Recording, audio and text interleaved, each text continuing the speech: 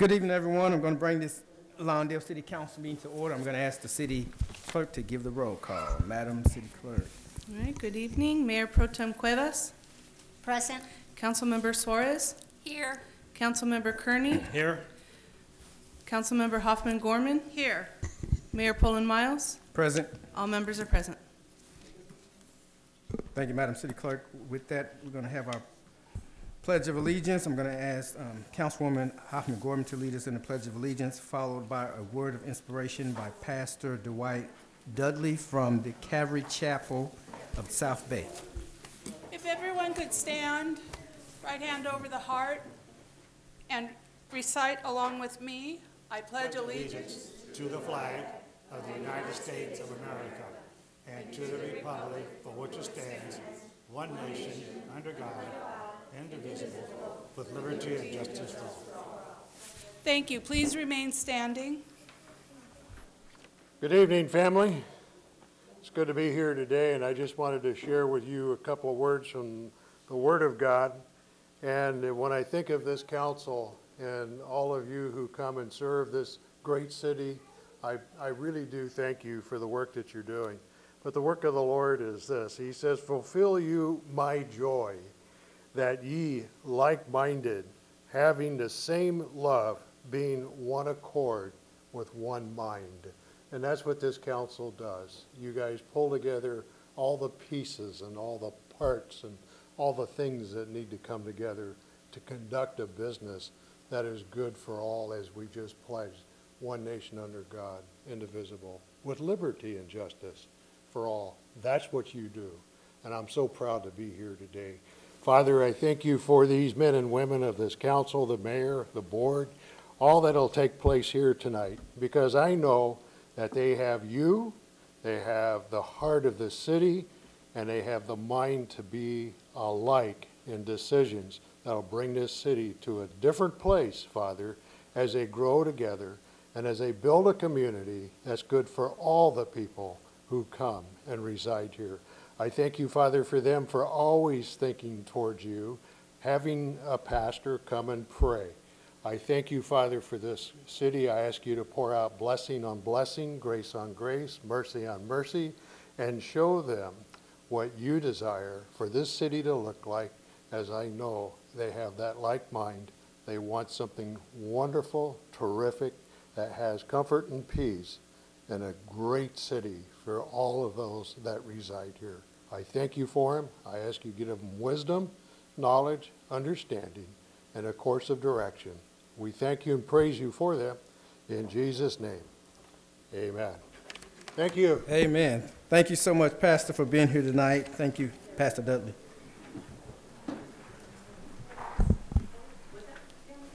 Okay, we have a couple of presentations um, tonight, recognizing some outgoing uh, members of the citizen, okay, the Senior Citizen Advisory Committee, which is a committee that uh, was designed to um, help us with um, issues concerning um, citizens, uh, senior citizens.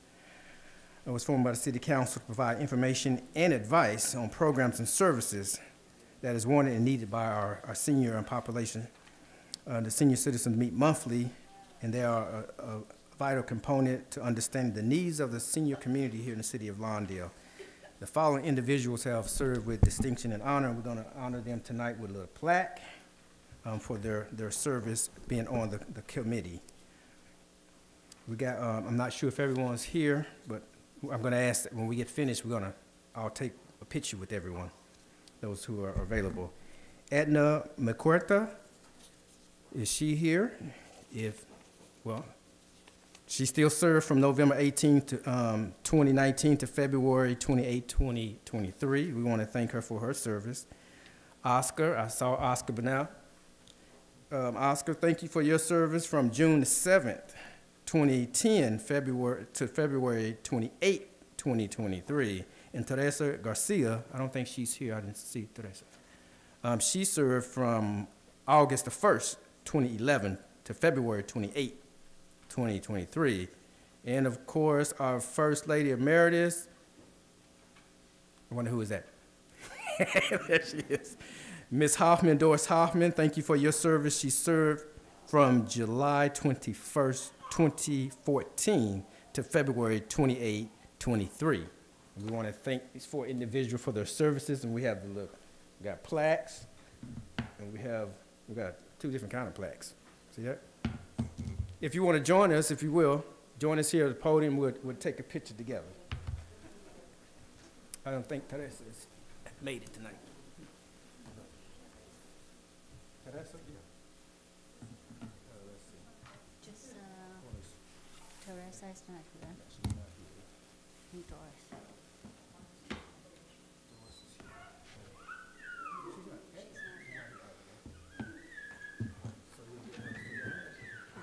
I'll keep, I'll keep, I'll stay alive. You gonna support Oscar, huh? Oh, we have to keep him. He leans. There you go, sneak in here.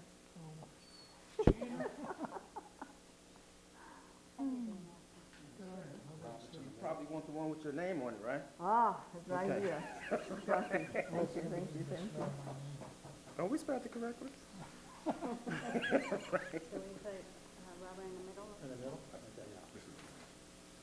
We'll take a picture. So Thank you guys for your, your service. We'll take a picture. We'll take a picture.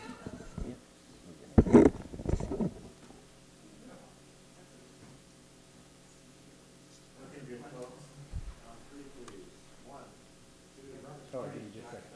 Look up. Lots of film, yeah. You might have to wind it.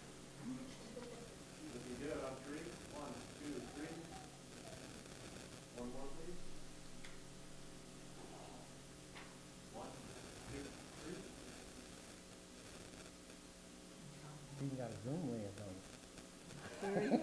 Thank you. How you doing? Good to see you. Yeah, this is good.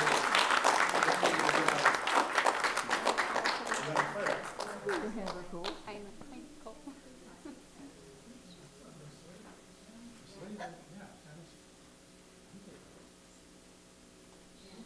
Don't get it. You not get it. Thank you, Oscar.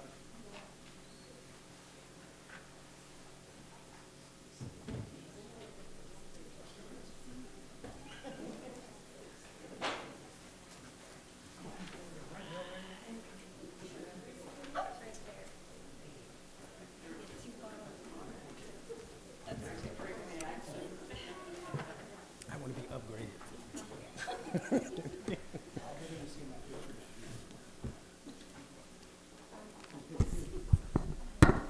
Okay.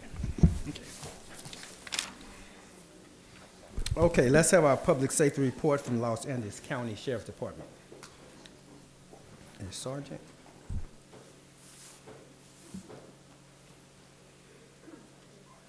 Turn that off here, hold on. Good evening, uh, Mayor, Council. I'm here tonight to present the Public Safety Report for April 3rd through April 17th. Uh, Last council meeting, there were some questions from the council regarding okay to books and time that was spent for arrest made in Lawndale, and unfortunately, the sheriff's department doesn't track it that way. So to find out that number, I would have to go back and find out every single person that was arrested got booked, if they, and then if they needed medical clearance for booking, which is a, uh, it's a hefty, hefty task. So we don't, I don't have the answer for you. Um, and then the council also inquired about a Facebook for the station. And yes, the station does have Facebook. It's under South Los Angeles Station. And so anything pertinent to Lawndale would be posted there. Um, and then I'll cover arrest during the period. Uh, Deputy Lupins conducted a traffic stop for various vehicle violations near 159th Street and Hawthorne Boulevard in the city of Lawndale. Deputy Lupins conducted a warrantless search of the vehicle pursuant to the probation conditions of one of the occupants. And he discovered a loaded firearm on the floorboard of the vehicle. He ended up arresting one of the occupants for possession of the firearm. And the person he arrest- arrested was not a Lawndale resident. Uh, Another deputy Lupin's arrest where he conducted a traffic stop again for various vehicle violations uh, on Inglewood Avenue and Manhattan Beach Boulevard. Uh, Deputy Lupin searched the vehicle and found suspected methamphetamine, suspected cocaine base, sus- suspected black tar heroin, suspected pressed opioid pills, a large amount of United States currency and scales, The, the driver was arrested for various drugs, drug-related charges, and the driver was not a Lawndale resident. Uh, Deputy Ariola conducted a traffic stop of vehicle, vehicle for various vehicle code violations near 156th Street and Pomona Avenue. Uh, Upon contact with the driver, he observed a firearm in plain view inside the vehicle. During a further search of the vehicle, he discovered suspected fentanyl. And the driver was arrested for weapon and drug charges, and the driver was a Lawndale resident. That concludes my report for this week, and I'd be happy to entertain any questions that you might have. Okay, thank you for that report. Are there any questions of the sergeant's report? Lieutenant? Lieutenant, right? No, Sergeant. Sergeant? Okay. Thank you, though. All right. Hey, I was just testing you. We appreciate your report. Thank you so much. All right. All right. All right. Next item on our agenda is oral communications. This is when you have the opportunity to speak to this body on items that are not on the agenda. If you'd like to speak to this body on items that are not on the agenda, you may do so at this time. We ask that you line up by the flag.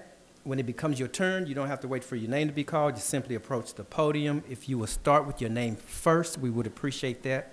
At about two and a half minutes, the amber light will come on, and that'll give you the signal to start wrapping things up. Let's have our first speaker. Yes, ma'am. Good evening, Council. Uh, My name is Haley Hutt. I'm here representing Assemblymember Tina McKinnor's office, the 61st District. I am the representative for this area of the city of Lawndale, so I just wanted to come, show my face, say hello to everyone, and introduce myself so we all um, can introduce ourselves to each other, and you'll be seeing me more often. It's nice to meet you. Thank Thank you. Thank you for being here. Yes, ma'am. Good evening. My name is Dina, Lawndale resident. I'm just going to wing it since I know we have chickens on the agenda tonight. So uh, I just wanted to ask, I don't know where the Public Works is. uh, Where I live is a cul-de-sac. We used to have a sign, no outlet, which was knocked down. But, and then they removed the little metal stem, but now it's filled in with concrete. And I don't know if we're going to get the sign replaced or not. I had a, one of those limousine party vans ended up in the block, which had a heck of a time turning around. And also, thank you for putting the bulk number on the website. A neighbor has, I don't know if she doesn't want to call, is that the number to, directly to our waste, um, you know, our trash pickup? Right now, it's a, uh, what is it, portable or uh, basketball hoop. Now it's in the gutter, waiting for bulk pickup. Well, another neighbor moved it last Thursday for street sweeping, but now it's back in the gutter. So I appreciate the number. I'll probably end up calling myself since I don't, somebody's gonna hit that thing at night. It's, you know, dark. Also, um, I just, there's something else. I wanted to go over, I know the school citation thing was an issue last meeting. I like Kearney's idea when he suggested the three different drop-offs. It makes sense. Why don't they give that a shot? At least like a test run to see if it works or not. It sounds good. Um, I don't have kids, but it also, it doesn't just affect, you know, the people that have kids and are in a hurry to drop kids off. It affects other people when they have to get out in the morning and go to an appointment or what have you. They do a lot of nonsense that creates a lot of issues for just regular drivers and stuff trying to go to work or an appointment or whatever. Um, I also wanted to touch real quick on, um, since all the rain and everything, maybe you guys could put in something. I know you have the dog licensing or animal fair coming up. A Lot of foxtails right now in bloom and coming also. Maybe if we can, you know, put out something on that, the, the dangers and the hazards for the animals and what have you. And maybe we can, you know, get some of that trimmed, I don't know, with our public works on different, I know people don't take care of their parkways and what have you, although they let their dogs do their business and, and everything else. But if we can get, you know, look into some of that, so that's my light. Okay, thank you. You're welcome. Thank you. Yes, ma'am.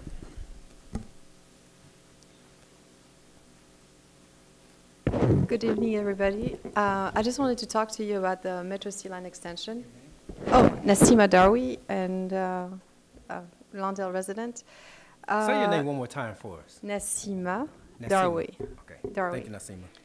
Um, one thing that I, in the uh, EIR wasn't mentioned was the, um, any kind of emergency response in case of a um, natural disaster like an earthquake, uh, any derailment. Uh, nothing has been mentioned. It's kind of worrying me knowing that we're living on 171st Street and the corridor is very uh, narrow on that part. And then um, wondering if they do have the train going on row, uh, God forbid, but if they do, um, what, what are the measures? Um, keeping us, the residents, safe in case. Um, also, I would like to know if maybe uh, the city of Lawndale could actually try to change their um, opinion or um, on the uh, metro and of the no metro uh, in Lawndale and having going more for the um, option. Um, it would allow us to negotiate maybe better with metro uh, versus uh, no, um, no met, nothing. I mean, no train. Uh, so that's pretty much it. Thank you. Thank you. Yes, sir.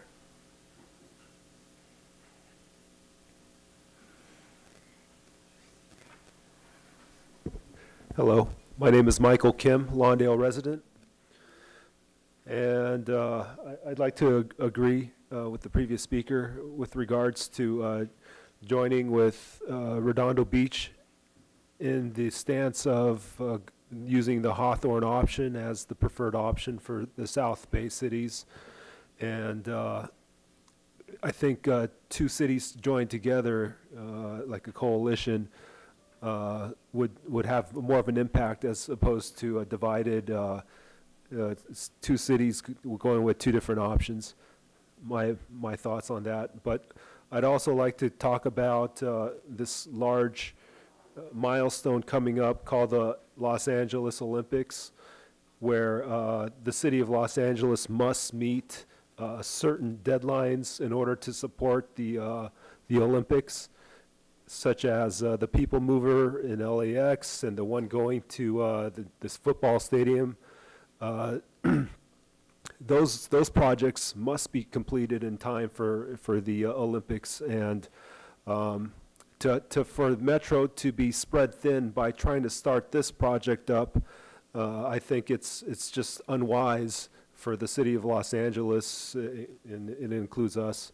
And uh, I, I think. Uh, you know, they already pulled away resources from an overpass that they wanted to uh, build over, I think, Florence in a congested part of Inglewood. They just scrapped and abandoned that entire project. They're already uh, deep into that one. The EIR completed and it was already approved, and they just said, you know what, let's stop that. Let's focus on the people mover. So I, I think uh, we should also uh, ask Metro to, to think about kind of finishing uh, the projects that they haven't had and, and not to try to juggle too many balls in the air, too many projects all at once, and, and so that uh, um, they come up with a safer solution uh, in, in the long term that'll serve people. And, you know, it- I- they might learn some things from the Olympics. Maybe uh, they'll have some comments from people that visit and they might say, hey, this, we, we like this type of uh, uh, uh, train, train environment, stop, I don't know. Um, And uh, at least that'll buy us some time in order to uh, uh, maybe get more public support. We've been noticing more uh, public support lately, um, but last summer, you can hear crickets at those metro meetings, so I I think uh, uh, that, that's just going to help us in the long term. Thank you. Thank you.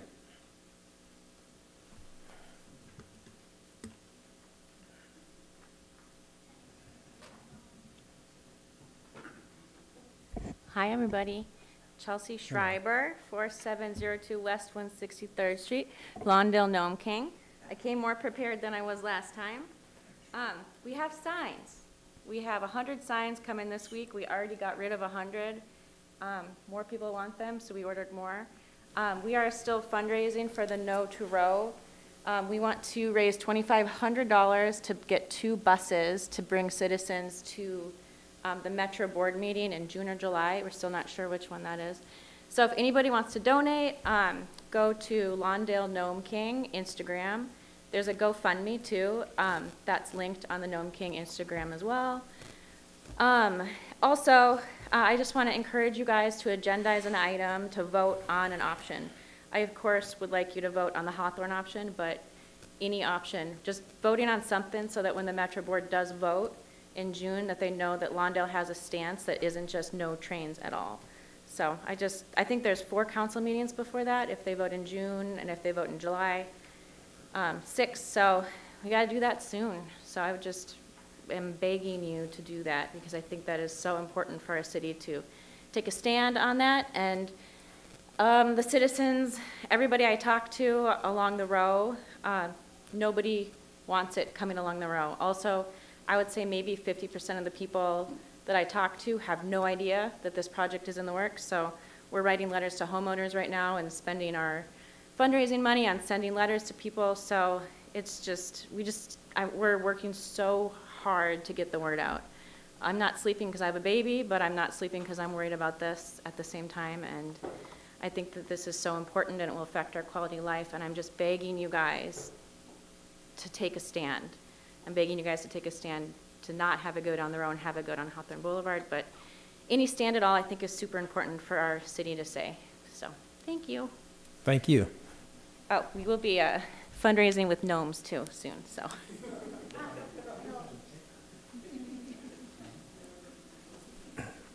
But do they roam, though? Yeah, yeah. It's not a gnome if it doesn't roam, right? Yes, sir. Hey, my name is Morrison Lucas again. I'm sure you all remember me.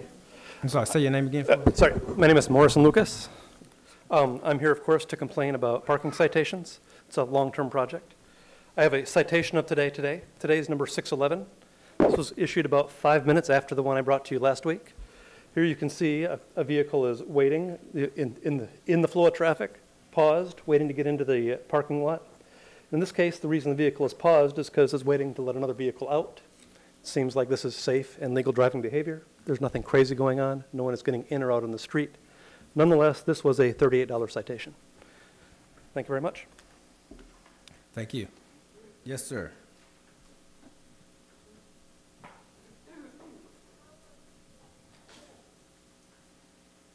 Hey, good evening. Uh, John Schreiber at 163rd Street. Um, I don't mean to keep coming and beating the same drum, but um, I also encourage you guys to, at some point, agendize the Metro Green Line and try to come up with a plan of what you're going to support. Um, I think you only have four meetings left now before the Metro Board meeting where they're going to make the final decision, so unfortunately, the clock is ticking. Um, Also, I wanted to bring to your attention, I don't know if you guys knew, but the, what do they called? They're the um, Metro South Bay City Service Council met last month, and they actually wrote an official letter supporting the row option. And I listened to their meeting. Um, they're very dismissive of Lawndale. Um, I don't know if you guys know that they wrote this letter. Um, they're, all they were really concerned about was that they would have to drag their suitcases up a staircase at the Galleria, and that's why they don't want the Hawthorne option. So I don't know if you guys are in touch with that council or if you have any sway on their opinions, but they seem to be taking a very uninformed opinion on the Metro Green Line, and they're speaking for our city, which I think is a shame. So I encourage you guys to look at that. And um, I don't want to just come here and complain. I want to focus on good stuff too. So I thank you for the good Easter egg hunt. I brought my four-year-old son to that uh, on Easter, and it was a very good event. So I thank the city for putting that on.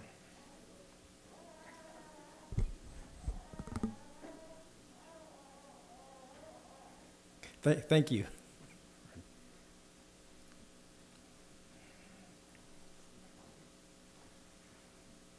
Hello, my name is Mary Jagoni.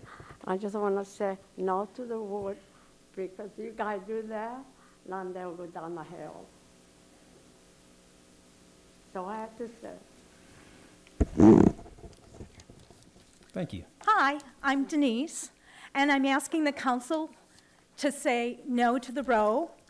And like Mary's been here since 1974, so it really means a lot to her.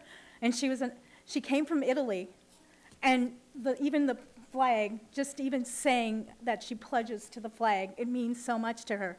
And for, for you guys to, to not even vote and even attempt to help out the, the the Hispanics, the Italians, all diversity. You know, it's really important to think of everyone that doesn't have no clue on what's mm-hmm. going on.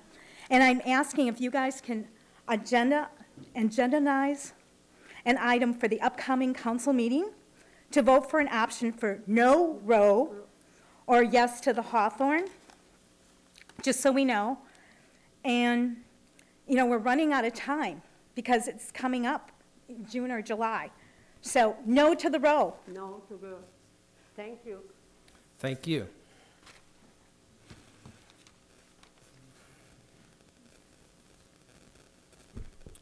Okay, with that, we'll close public comments and we'll bring up the diocese for any comments from the council.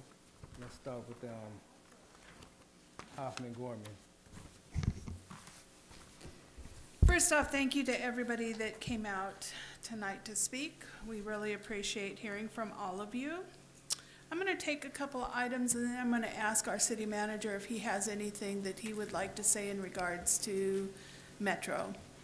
So, um, first off, Dina, your sign, I'm sure that they're going to work and try to figure out if it needs to be replaced and why you're left in that predicament.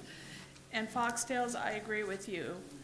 Um, being involved with my vet, I know that the problems that foxtails give our critters, both in their ears and in their noses. And so you're right, that is an issue. Um, we had a lot of speakers tonight on the metro. I will say for Nazima, I, I have voiced oftentimes, I'm in the medical field myself, and I am absolutely concerned about the emergency response and how that could interrupt. And it's not just in a major earthquake, it's in every time that that quadrant suffers a heart attack or a stroke, and we have to wait for a train that's going by 192 times a day. So I have my own concerns on that, and I share that with you. So I want you to, to know that. I'm hearing you.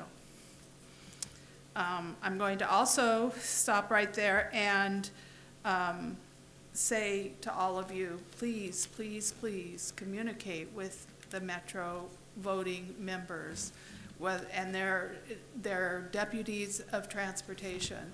The mayor and I do sit on a subcommittee, and we are approaching and speaking to every Metro member, voting member, or their deputy of transportation. So they are hearing us. Uh, we have several still to go, though, and we are talking about what is coming next on, on that issue. Um, Mr. Lucas, your citation, have you brought that up to Michael? This one that you just brought up tonight? Is this a new one? This is one of the many that was given on the same day. This is not my citation. A lot of citations are given. All right. Yes, Joe. All right, well, I would encourage anybody that receives a citation right now to contact the city if they have a discrepancy with it. Otherwise, the city can't speak on that particular issue.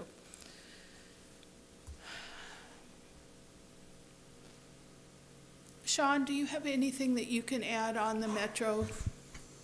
Thank you, uh, Mayor and council members. I'll be brief on this item. We've discussed it quite often recently. Um, So we, we know, uh, we recently, I sent an email to the council concerning some comments made by Metro, Mark Dierking, if I pronounce his name correctly, but they mentioned at the COG or one of the meetings, it's in the minutes that they only have less than a billion dollars.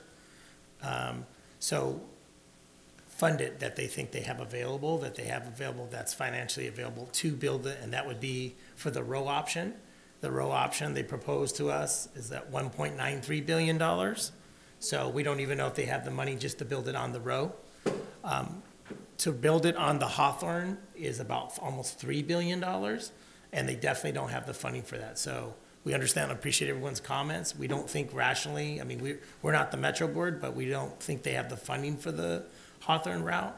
We, they barely have the funding uh, based on what they've said and based on our research. Um, to build it on the row, if, if in fact at all. We have filed our comments. It's a lengthy uh, comment letter. Um, This process is still going forward uh, with them in terms of when they go to the hearing. Our understanding is they're not going to take an action. They're going to pick an alternative and then come back with the final EIR later on, months later. Um, That's to be determined. But we are definitely, we've been bird dogging the project for years. We're still bird dogging the project. The subcommittee's still on board with meeting the Metro Board members, and we are still moving forward, um, trying to work with them a solution. I don't know where we'll end up, but we're trying to get things worked out with them, so we, we, something that's, that works for all. But it, again, as I just mentioned, previous meeting, they promised they were gonna trench it and put some kind of top on it, and then, um, on the row, and then now we've, they've kind of backed off on that. There's not much mention of a top or, and, you know, there's mention of a trench, but their, their main focus is on the row. That's it.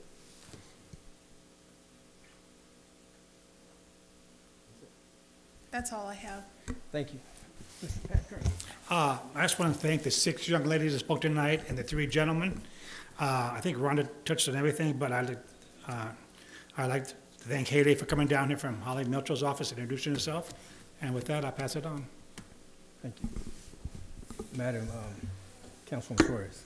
I'd like to thank everybody that came out tonight. I do have a question, um, and I think our city manager briefly spoke a little bit about it, but in terms of, I and I don't know if this would be at a public meeting or a closed session, how it impacts us to actually make a decision, um, knowing that with, if they do pick any option, we're gonna want the best mitigation measures and possibly, possibly litigate.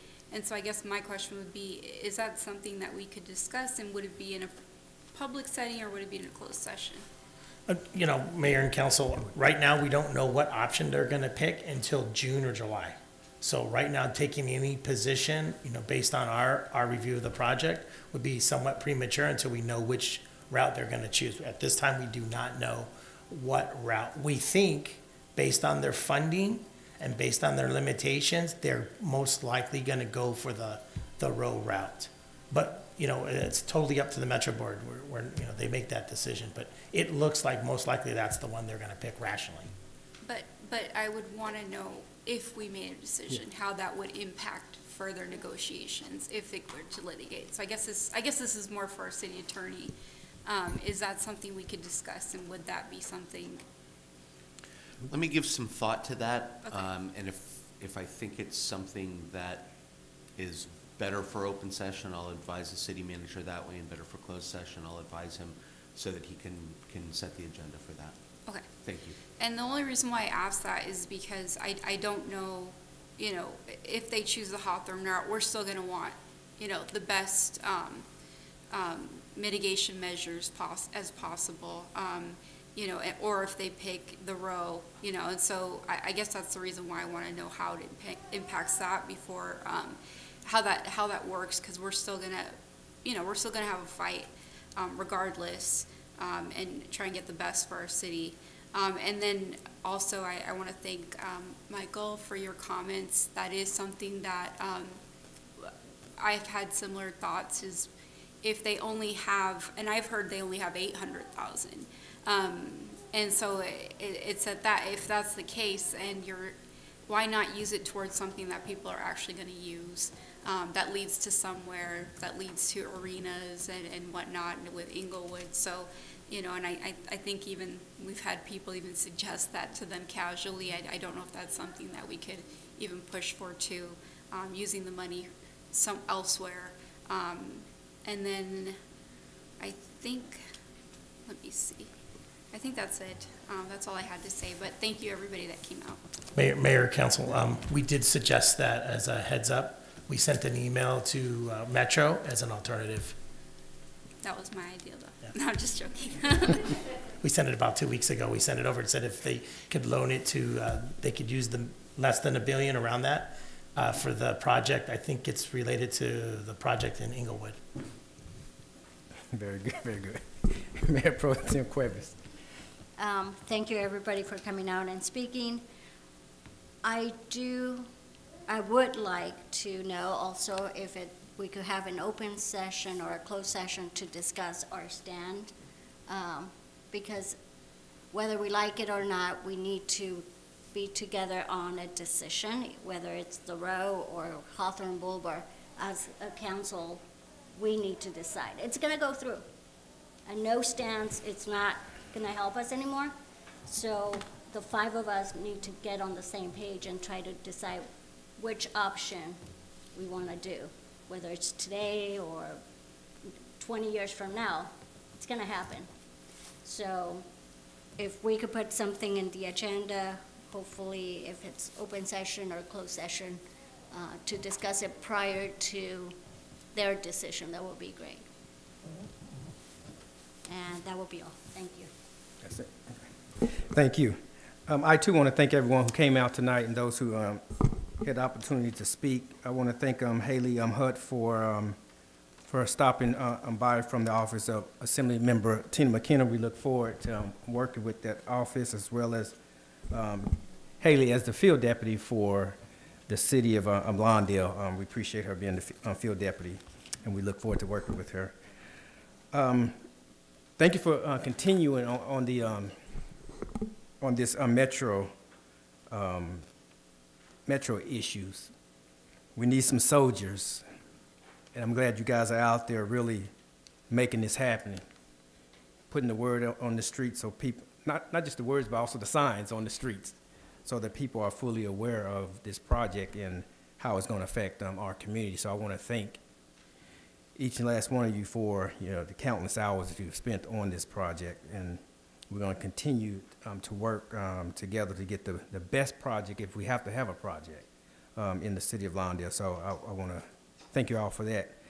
I too um, believe that if, if Metro, if they don't have all the, the funds that they, that they need on this project, rather than keeping those funds stored somewhere, locked away somewhere, it should go to a, another project um, that will, in fact, be used, and that's the Inglewood um, Connector um, project. So the Inglewood Connector project, that's, um, there's no question that that project is going to be uh, um, used because it's going to bring people down to the entertainment um, sports um, district in the city of, of Inglewood. And they can use that funding. I think it would be actually better suited, you know, in the city of Inglewood. I did have a discussion with this, with the uh, Mayor Butts. This was maybe a month or so ago about this project. Uh, I'm not sure how that works in terms of if they have the ability to do do so. I'm not really sure on the legalities of that or what have you. But if it if it if it's possible, and they're looking for an alternative um, to where they can um, use the money where it's going to be best suited, I think they should look to our neighbors on um, Inglewood um, for that project. So I would advocate um, for that as well. Um, other than that, yes, I, I do, as I stated earlier, I think it's time that we do take a position on the um, one of the um, alternatives. With that, the only other thing I wanted to add was I think we did um, mention. Did we mention about the, the, the no outlet sign that they were going to replace those signs or whatever that Dana brought up? Did we? Did I miss miss that? No, Mayor, but we'll definitely take care of it. I'll follow up with Public Works. Okay, very good. Okay, and that's all I have, and I'll swing it back to the. Just one thing, can we Yes, also ma'am. include to agendize possibly sponsoring a bus to the metro meeting, the city? I think that might. Yes, we can put that on too.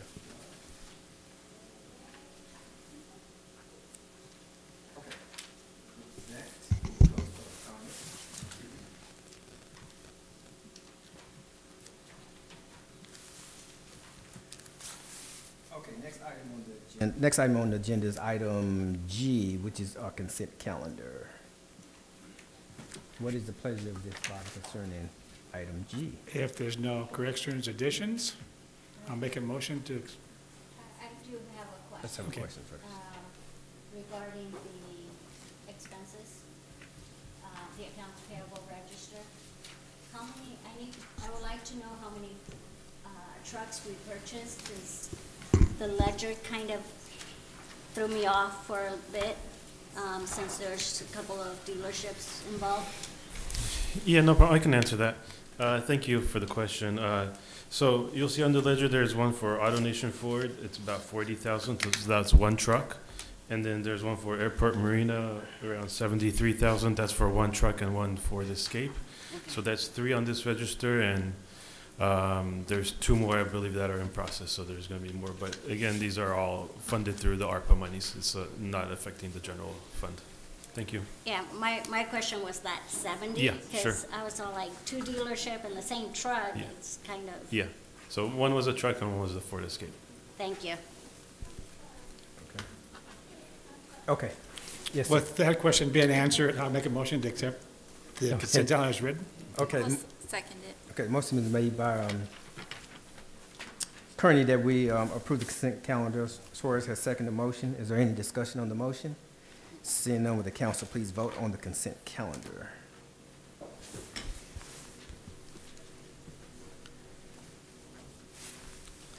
For the consent calendar, the motion passes unanimously. Okay, next item is a public hearing. Consideration to amend the Lawndale Municipal Code establishing rules and regulations to provide for urban dwelling units and urban lot split for single-family lots in accordance with Senate Bill 9. Let's have the staff report. Thank you, Mayor and council members.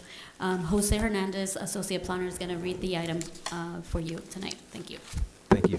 Thank you, Ms. Chavez. Good evening, Mayor. Good evening, council members.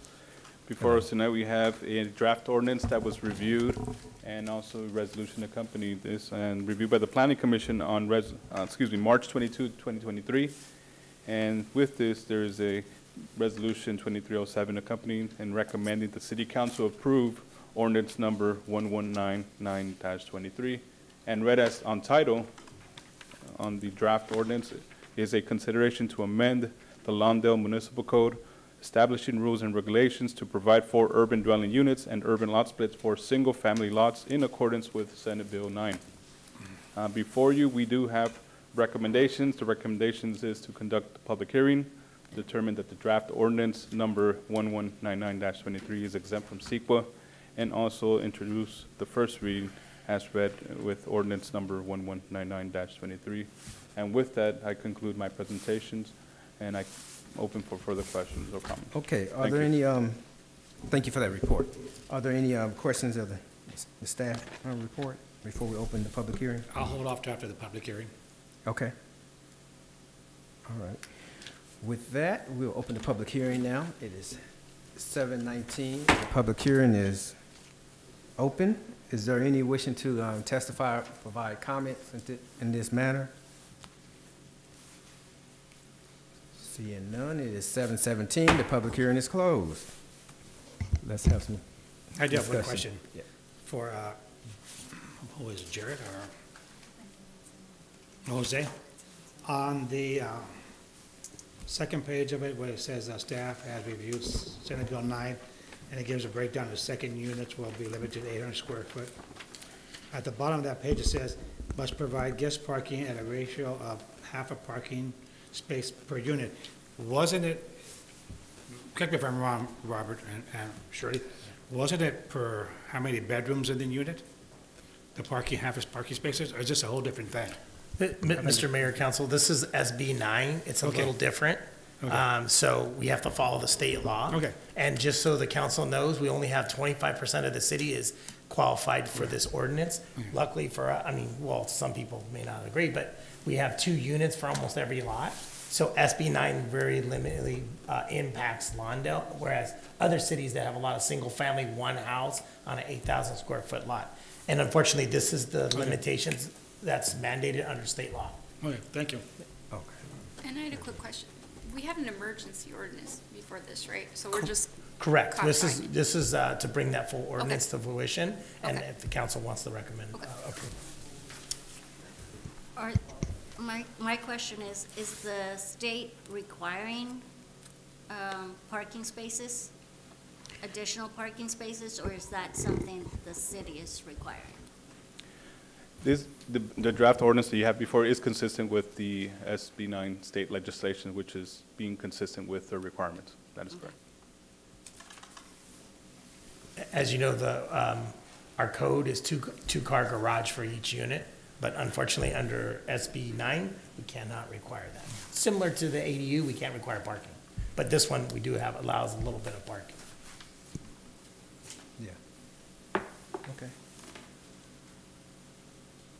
You good? We're good. I'm good. Okay. Uh, Any other discussion? Okay, so what is the pleasure of, um, I'll go with item. staff recommendation. We did the public hearing. I'll second it. okay, so the motion's been made that we uh, approve um, staff recommendation. The first And- reading and- title. Yeah, and seconded by um, Suarez that we do the um, the introduction of the first reading of the ordinance. And I think that's the only thing it does, right? Yeah, just the first reading of the ordinance, yeah. So I'm gonna ask the the city attorney to please read the the ordinance. Thank you, Mr. Mayor. This is ordinance number 1199-23, an ordinance of the City Council of the City of Lawndale, California, amending the Lawndale Municipal Code to add Chapter 16.05 and amend Article 7 of Chapter 17.48, establishing rules and regulations to provide for urban dwelling units and urban lot splits under the R1 zone and a finding of categorical exemption from CEQA. That is the title of the ordinance, and you have waived further reading on the consent calendar tonight. Thank you, sir. Thank you, Mr. City Attorney. Uh, Would the council please vote on item six?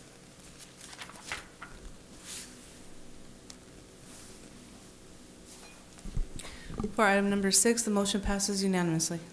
Thank you, madam.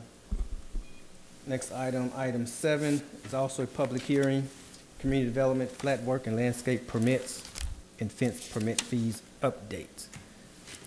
Thank you, Mayor Yes, and sir. council members. Yes, ma'am. Um, The item before you tonight is the, taking a look at the fence and flatwork permit fees uh, for reduction as uh, discussed in the February 6th, the 2023 council meeting. Um, Staff brought before you the fence and flatwork history of the cost of the permits, both for, um, from back to when it was recently adopted to the current cost. Um, It was asked of council to, um, staff to prepare a reduction of fees as discussed in the previous meeting. A fence permit from four hundred and twenty, which is the current fee, to fifty dollars. And the flat work and la, flat work slash landscaping permit from three hundred and ninety dollars to seventy-five dollars. Um, staff, uh, recommends that city council, uh, conduct a public hearing and adopt, um, resolution number CC twenty-three oh four 18 approving the proposed fee reductions for the planning department's fence and flat work permit, permit applications. Thank you. That concludes the staff report. Okay, thank you, madam. Are there any um, questions of the staff report before we open the public hearing? Okay, seeing none, I will open the public hearing at seven twenty-two. Public hearing is open. Is there any wishing to testify or provide any comments in this public hearing? Seeing none, I will close the public hearing at seven twenty-three. The public hearing is hereby closed. Is there any discussion on this, this um, item? Item seven. Staff recommendation. Okay. Sounds like you heard none? Okay, so you're making the, um. Yeah, I heard voices. Making the recommendation? I hear voices all the time. I'll second it. Okay, second. So the motion's been made, been made by Kearney and seconded by Hofmann Gorman that we approve the staff recommendation by adopting unsaid resolution, um, approving the proposed fee reduction for the planning department, yeah, planning department fence and flat work landscape application fees. Is there any discussion on the motion? Seeing none, would the council please vote?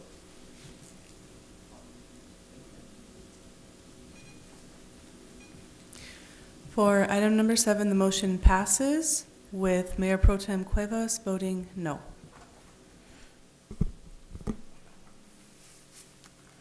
Thank you. Item, item eight, um, the quarterly, quarterly investment report for the quarterly year ending March thirty-first, twenty twenty-three. Yes, sir. Good evening, Mayor and council members. This is the Q3 Uh, Investment report ending March 31st. So just to go over numbers real quick, the city has cash and investments of 47095201 Um, The city's investments are made up of currently right now four categories, basically cash and bank, uh, LAIF, which is the state fund, CDs, and U.S. government agency bonds. We have approximately 17.6 million in the checking account, about 23.7 million in LAIF, uh, about 4.7 million in CDs, and another 1 million in U.S. government agency bonds. Um, And, you know, you can see the long list of CDs we have is basically split up into three different groups. We have one year or less, which is short term, uh, our medium term, which is one to three years, and then the longer term, three to five years.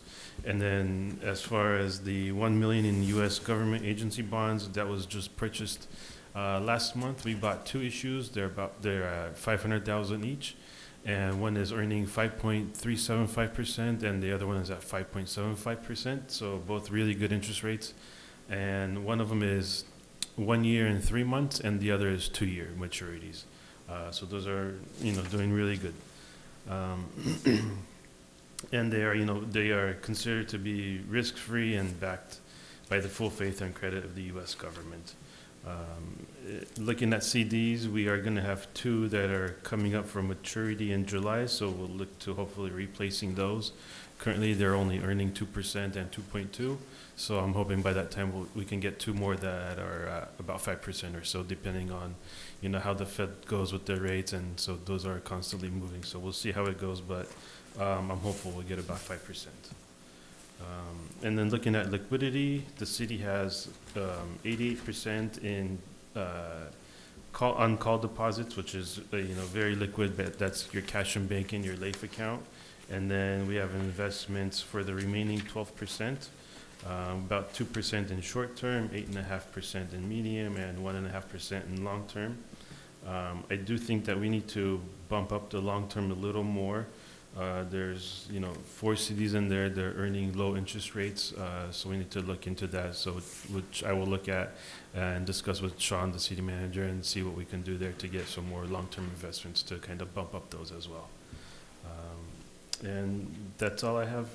Um, That concludes my report. Any questions? I'm happy to answer. Yes, yes, ma'am. I have one question, because there's, in the staff review, it says um, that we continue to maintain a majority of cash and lay for the city's checking account.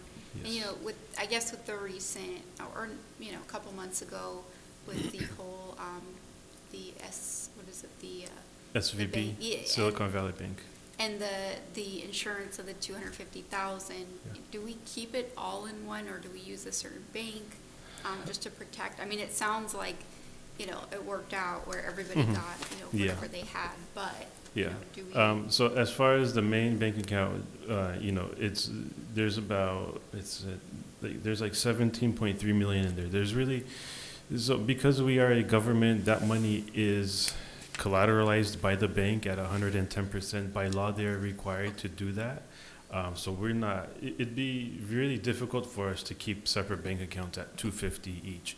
Our CDs, uh, we do, you know, our policy is less than two fifty because those are FDIC insured. So on the CDs, yes, but on the other cash, no, because the bank has collateral requirements behind it. Okay, So, yes. thank you. M- Any Mr. other questions? Oh, sorry. I was going to mention, we work weekly um, on running those numbers, and the council adopted policies on buying those, and Hrant and myself go through, and they're very detailed. The bank has to meet certain hard requirements, certain corporate requirements, certain financial backing requirements before we even invest in them. And so, and then I look at the interest rates directly with Hrant, and we, uh, we, we argue about, you know, is this bank safe? And- And we don't put in more than, I think it's two hundred forty-eight thousand Yeah. for each CD. And we are trying to increase that so we can get more interest off the, the amounts. Okay, very good, thank you.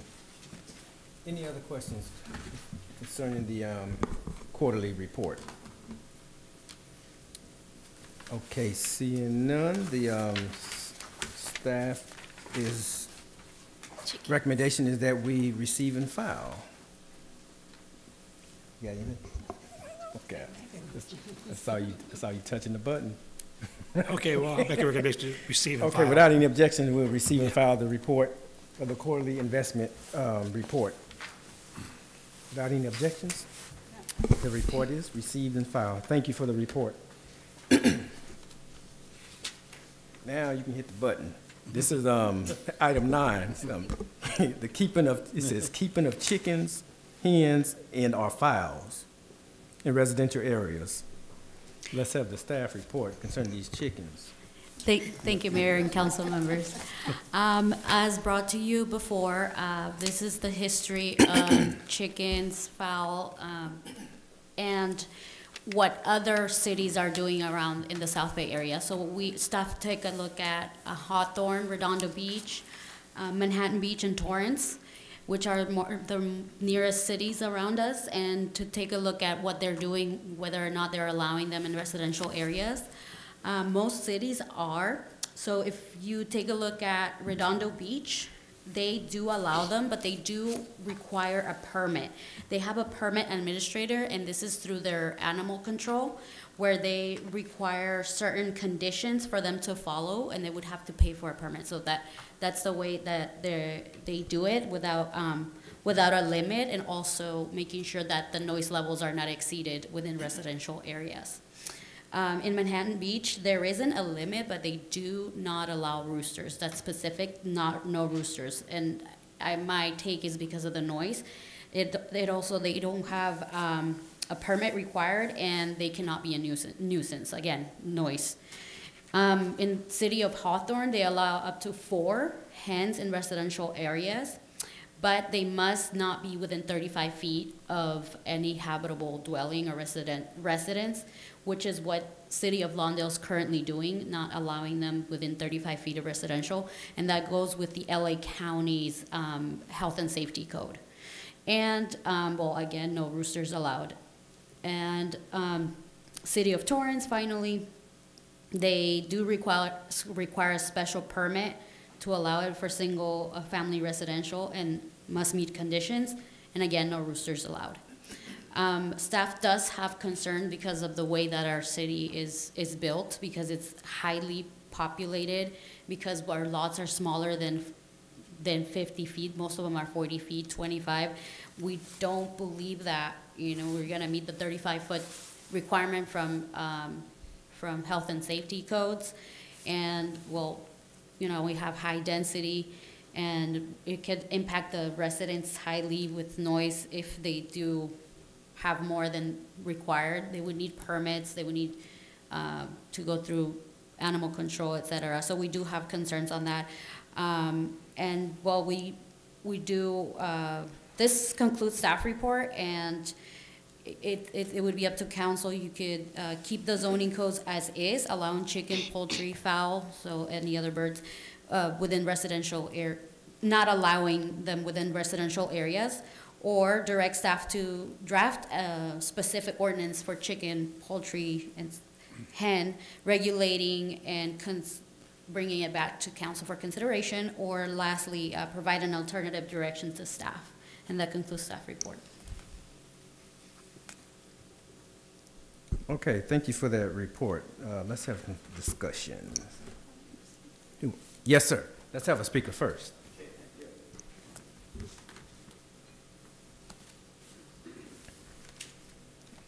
Yes, sir. Good evening. Once again, the community development manager had to take away from important duties to provide tonight's detailed report on whether to allow chickens in the city of Lawndale. How many approvals for projects were delayed so this report could be written? Having attended city council meetings for over 10 years, not once have I heard a resident come to the podium and plead for chickens in Lawndale, which is not Green Acres. I've heard residents bring forth school parking issues, illegal fireworks suppression, more recently the metro coming through the city, but not chickens. The fact that this is trending on social media does not make it important to residents of Lawndale. The staff report correctly recommends against allowing chickens in the city for a multitude of reasons. One reason that was not mentioned is the possibility of diseases that could be brought into the city if the chickens are not properly maintained. When I worked for the city of Inglewood, one detective contracted Cryptococcus meningitis due to pigeon droppings outside the police station. Common diseases from chickens include Salmonella, Listeria, Campylobacter, and E. coli.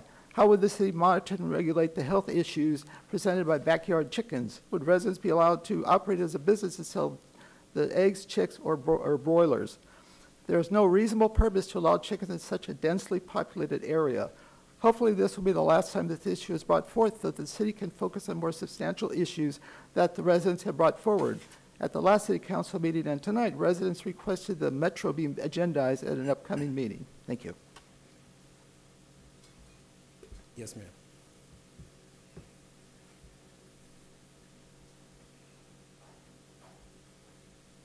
I was here at that meeting when the chicken discussion went on, and it did. It took over 20, 25 minutes talking about chickens and eggs and everything. We don't need chickens in this city. Nobody's going to get a permit. They're going to get loose. They don't pick up their dog stuff, let alone they're going to pick up their chicken stuff. They're going to wash it down to the curb or whatever, into the drain or what, even then.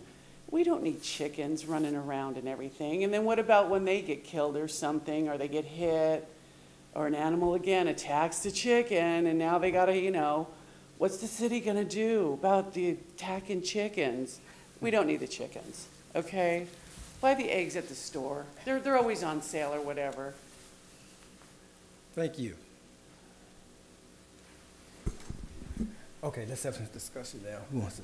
Well, I'll start since I'm the one that brought this forward. And contrary to some of the comments that were made, I actually did have several residents, several young families actually, their families uh, who I know who grew up in the area, um, you know, who asked about this. And for whatever reason, you know, they may or not be here, I can ask them to come too so that we have, you know, more of, uh, so they can voice their opinions. But I think that it, although it may not be important to some and some may disregard it, I bring it forward because, you know, there's a certain generation of young families that, for whatever, you know, their reasons might be, maybe they want to eat more organic or healthy or whatnot. So, th- so that's the reason why I bring it up. And, you know, everybody has their different takes on what's important to them, um, you know, and so that's something that I felt, you know, hey, why are they banned if neighboring cities? And that's why I wanted to look at it. And as far as taking up staff time, you know, I've done some of the research myself, and with Google, you'd be surprised how fast you can kind of get through, you know, reports and zoning. I've called up other cities, and I've done it for other items as well, you know, so it, it doesn't take that much time. Um, and then as far as diseases and whatnot, yes, that, that is a possibility, but is it probable? Um, you know, you could say the same thing for dogs, you know, rabies. There are rodents that run, um, possums. Um, I know growing up, we had a, a huge uh, lot, and there were a lot of times that we had other animals coming in. So I, you know, you, you gotta kind of, if you kind of go with the mindset that this and this could happen, this and this, um, you know, then you're gonna have to ban everything. Um, and so that's the reason I brought it forward. It wasn't with the intention for people to have millions of chickens, and I do agree. I don't think that, um, you know, I don't think that it's, people probably aren't going to come and get a permit. Um, but it's for the people that, if they do want to, you know, giving them the option. Um, and so that, that's the reason why I bring it forward. I think that we've come to a place where we've tried to ban a lot of stuff that I think you know, some people would enjoy, um, and that's why I brought it forward.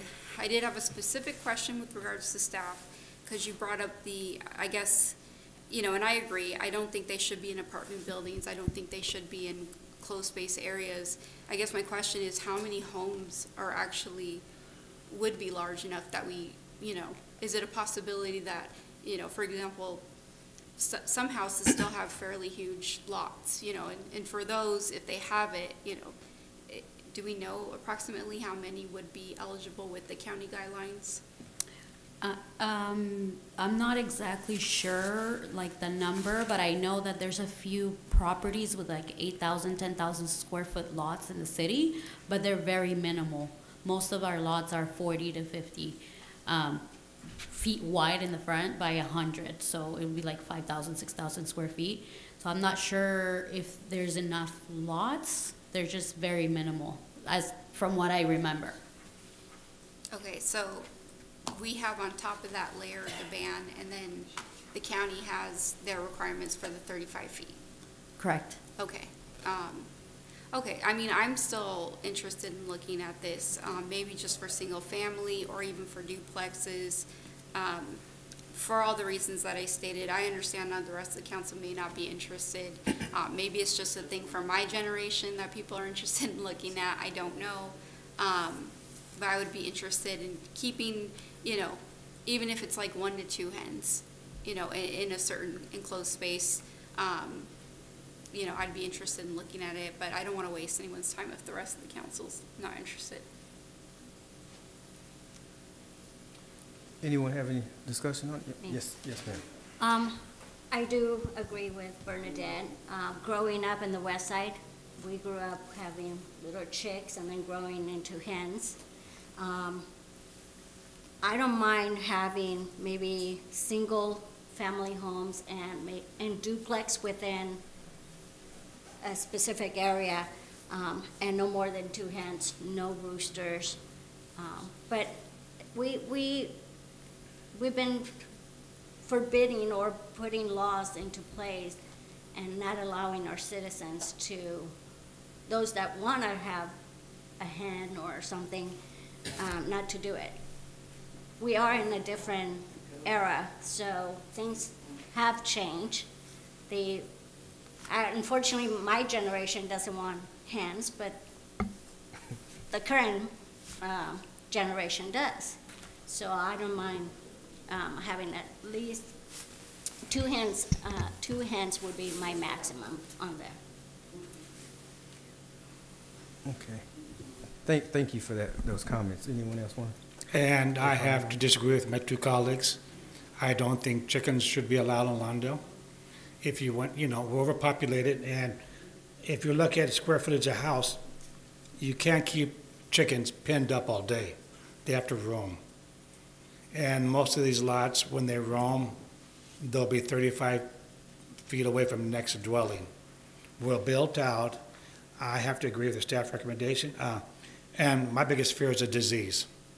We had the big scare of the egg disease. And the eggs went up. Now they're, back down to normal prices. We don't need chicken. What's, what's going to be next? Because goats going to be allowed because we had goats at one time? Or Hawthorne had cattle ranches, dairy ranches. We're going to have cattle? Uh, I have to strict with what the staff says, LA County says, uh, 35 feet, no. I disagree with the ladies, and I say there no, should be no chickens in Lawndale.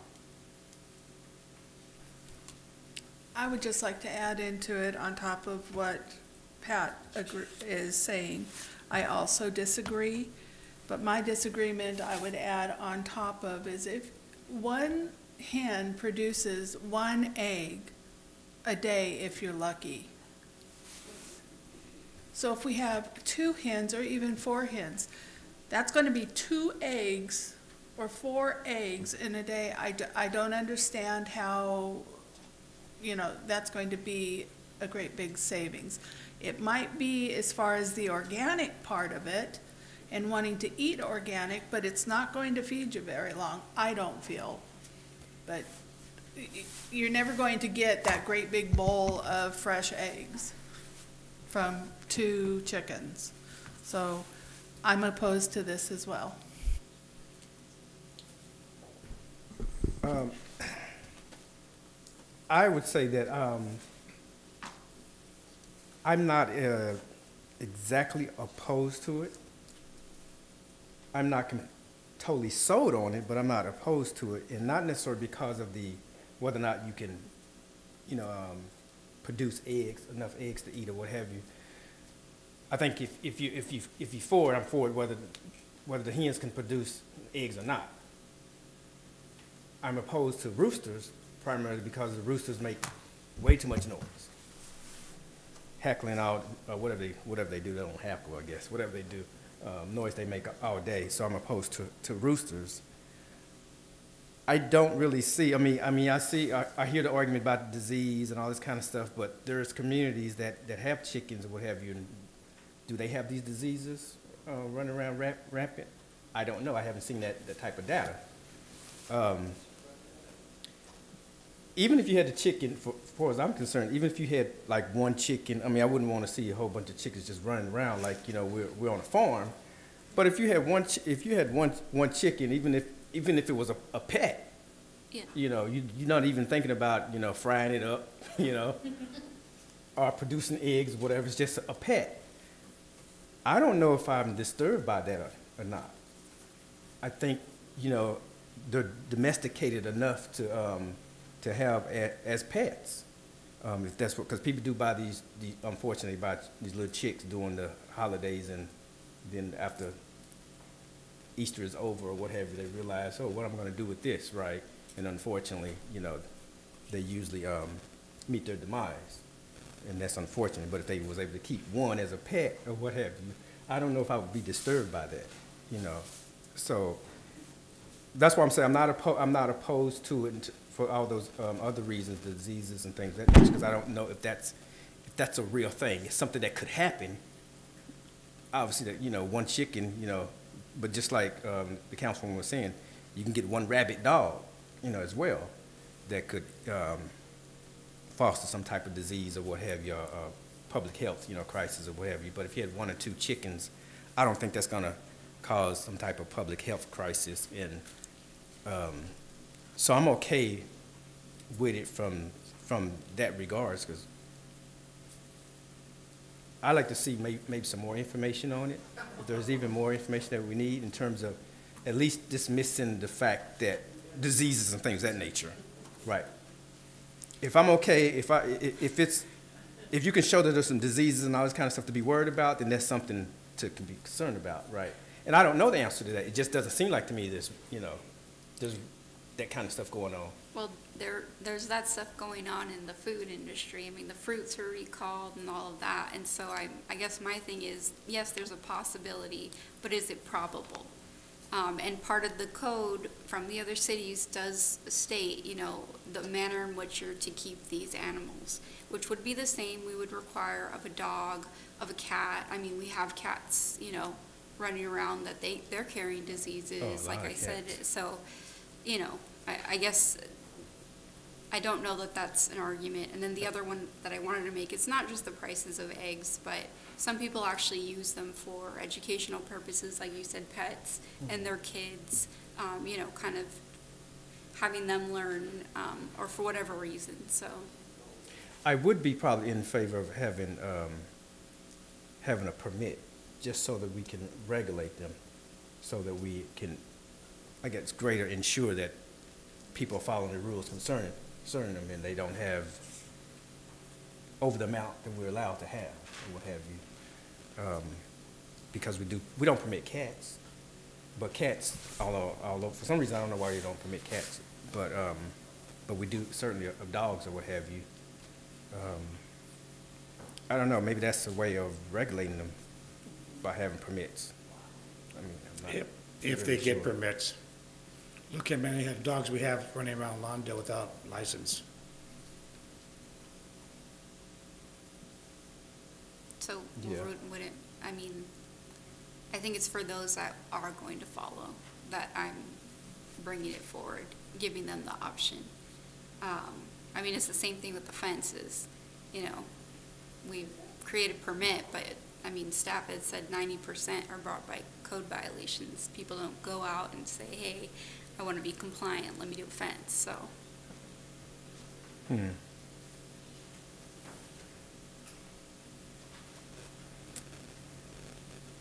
It's something to ponder. Well, I would be in favor of doing it. I'm not, I'm okay with a permit or a license, you know, the way we do the dogs. I don't even mind if it's one to two, you know, and then, um, making it a, you know, single family or, or something like that, um, or even duplexes. Some of them are pretty big lots. Um, but that's just me. Now, if you had a duplex, would that mean both duplexes would be entitled to one or two, um, hens? Or are you looking at the parcel itself, since it's one parcel? That's something we could look at too. Maybe just limiting it to the whole parcel. To the parcel, yeah. Because otherwise there would be four, because we're talking about two, right? Yeah. Yeah, because if it was, if it was a duplex. Well, before we Well, use duplexes, tied together in one, one parcel. I, I guess I- what I meant to say, not a duplex, so a duplex is, is, is usually, you know, one, one unit into, um, um, two. But I guess I meant to say more of a, two units on a parcel.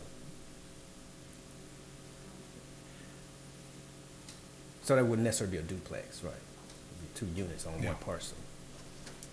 So if it's two units on one parcel, not a duplex, are we looking at still just a parcel itself, or the fact that there's two units? So each unit would be, But you could have a parcel with six units. right, right, So- that's what I'm saying. So it would have, a parcel with two units would be a a maximum of So it's each, the parcel itself, into, and so if you have a parcel with, with, so basically if you have a parcel with two units, right? Two units or less, you could do it. I, I would suggest, I mean, you don't want townhomes with them, because Yeah. there's no area that they could be, but duplexes generally will have some kind of a yard or something, or I don't even know if they're big enough, but, Yeah. um, Well, before we vote on this, I'd like to have Councilwoman Suarez bring back some of the young generation that want chickens, But we so we can to- hear from them. We, we don't have to, um, I think that's a little, Well, uh, You know, we've you brought said you could stuff- bring them back, you can bring some. okay, I will, I will. Okay. So that's, let me see, direct staff to draft the chicken, poultry, blah, blah, blah, blah, brought forward, consider the city council, okay. And if not, I'll have them write in too as well, depending on what their schedules look like. But this would be asking the, the, the staff, directing the staff to draft, you know, not the adoption thereof anyway, so there would be Yeah, another so opportunity. we could still for them, yeah. direct it, and then it would still need to be voted on. Yeah, so we're not voting on, on that tonight, we're, vo- we're voting as to whether or not to direct the staff to do a draft. That's correct, Mr. Mayor and Council. So you have three options there. We gave you three options to uh, decide from. Keep the zoning code is not allowed, uh, direct the staff. to- Yeah.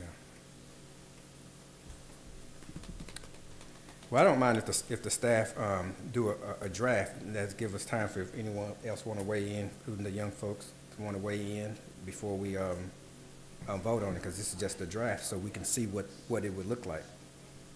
Okay. If that's the That's- direction of that's the me. council. What about anyone else?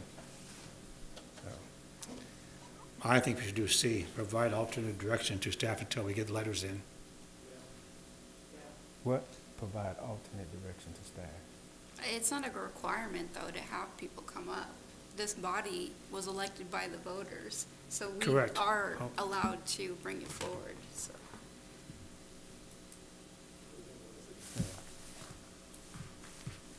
So I would go with recommendation C, bring a resolution, I'll make that motion. Uh, I'm sorry, ma'am, do you mean uh, a draft ordinance, not a Yes. A draft. Thank you, ma'am. Did I say B? or No, C? you just said resolution, but I want to Oh, make sure we do it right. Thank you. And we'll, um, I'll work with the Community Development Department. We'll listen to what you've said tonight. It's, it's pretty clear we have two in favor with some limitations, two opposed, and one who needs to see how the program would work before he'll cast his vote one way or the other. So we'll take into account what we've been hearing and, and bring that to you in the next couple months. Thank you so much. Okay. I'll So we've got another, Councilwoman Suarez, uh, so the motion's been made by Suarez and seconded by, um, Cuevas, that we direct staff to bring back the draft, um, ordinance. Okay, any discussion on the motion itself? Okay, seeing none with that, please vote. For item number nine, the motion passes with Councilmember Kearney and Councilmember Hofmann Gorman voting no. All right, thank you, madam. Next item is the city manager's report. No items to report tonight, Mr. Mayor and Council.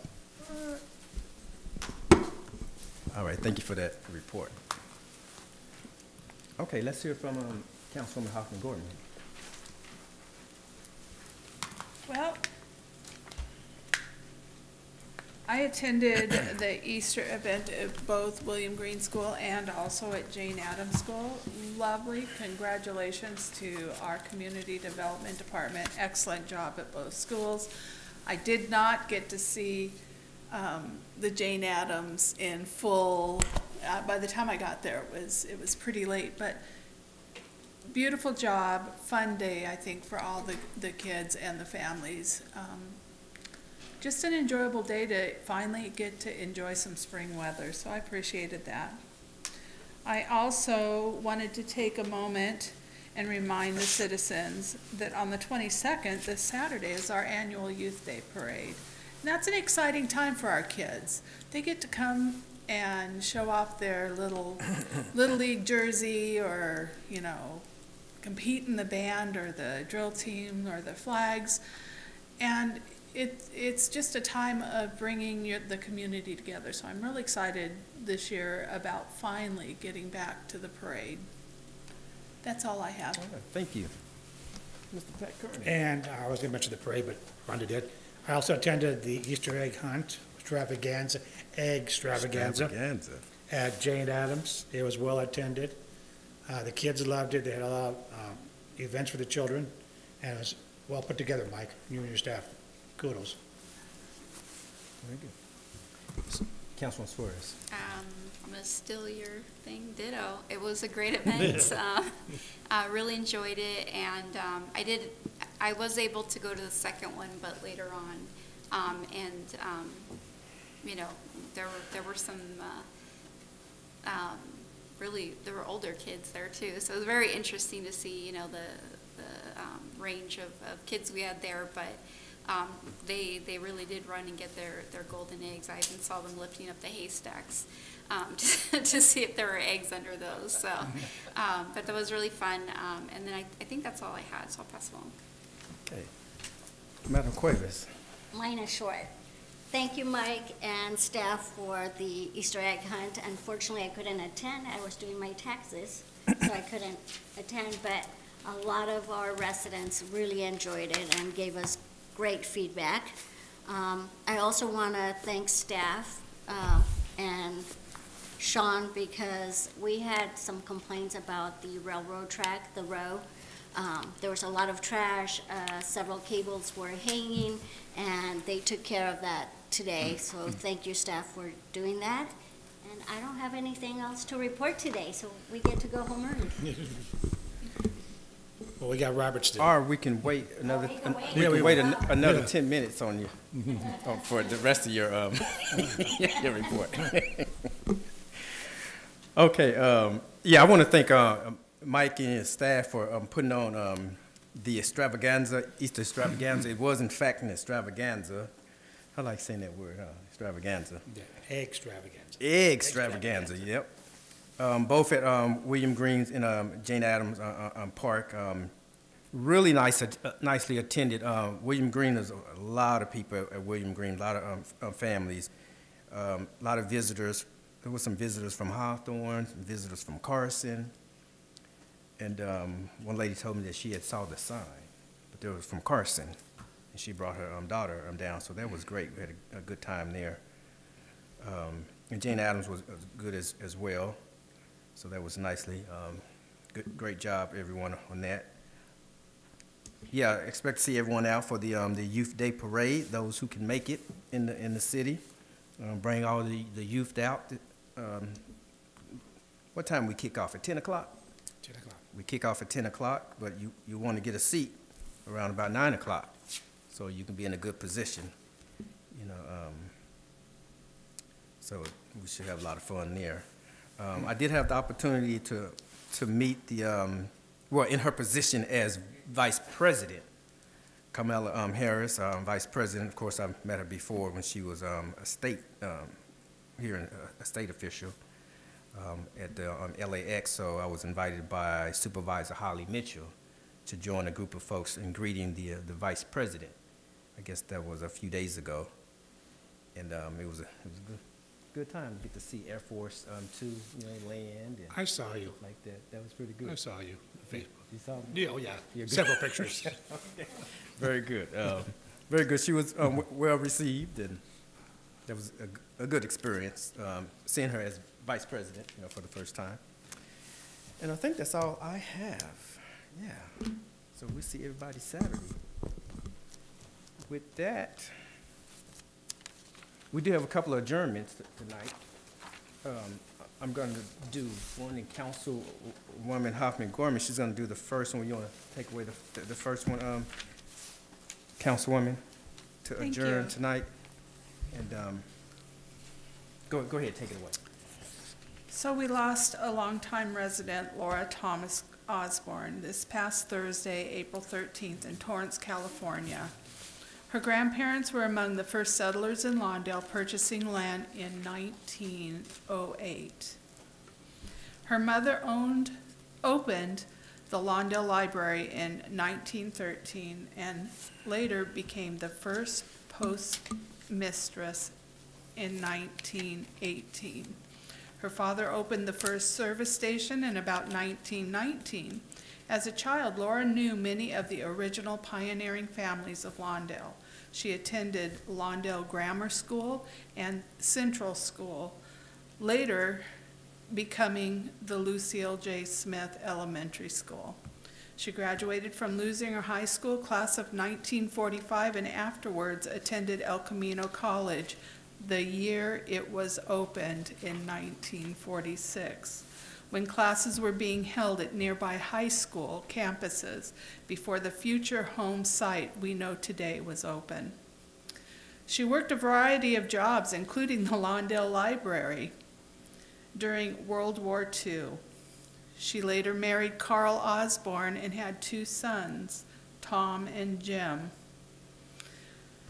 and remained in Lawndale for over 90 years. She was one of the founding members of the South Bay Quilters Guild and for several decades created quilts and stuffed animals for local children's hospitals.